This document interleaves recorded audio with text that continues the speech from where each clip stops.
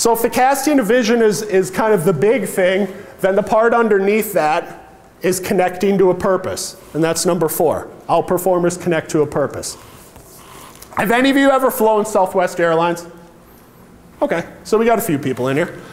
I travel a decent amount for my job, so I fly Southwest Airlines a lot. And they're very different in terms of other airlines. And I don't just think it's the transparency, as they call it, where they don't charge you for bags and you actually get free pretzels and peanuts and they have a unique boarding process and whatnot. Like there is something culturally different about what Southwest Airlines does.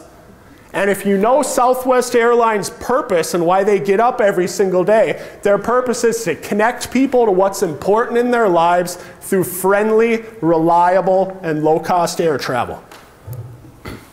Now, as you think about that, what's most important? Is it friendly? Is it reliable? Is it low cost air travel?